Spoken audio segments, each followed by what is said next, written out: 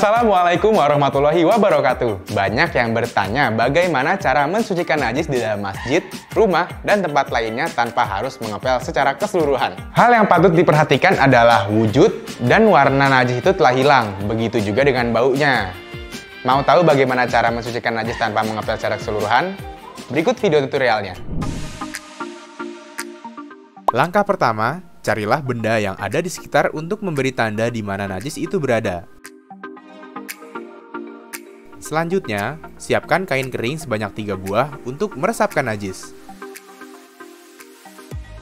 Letakkan kain tersebut tepat di mana najis itu berada. Usapkan kain secara perlahan dari sisi yang paling luar. Angkat kain tersebut ke dalam wadah, pastikan najisnya tidak terjatuh.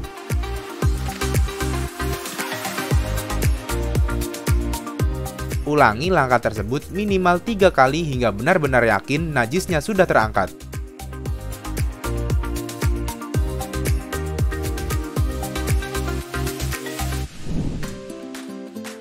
Setelah itu, sucikan kain yang telah terkena najis tersebut dan pastikan kainnya telah suci.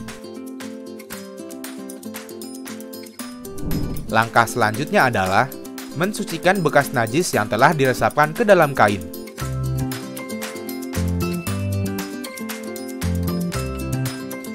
Dengan cara meletakkan kain basah tepat di mana najis itu berada. Usapkan kain secara perlahan dari sisi yang paling luar.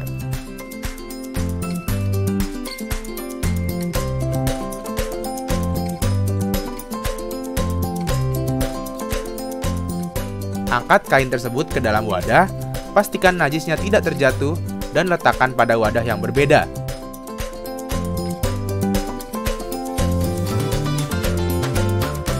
Ulangi langkah tersebut minimal tiga kali hingga benar-benar yakin lantai yang terkena najis telah suci.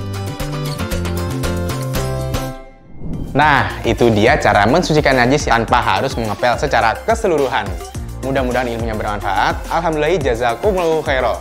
Jangan lupa sukseskan kerja bakti nasional LDII pada Jumat 4 Agustus 2023. Kerja bersama, bakti untuk negeri.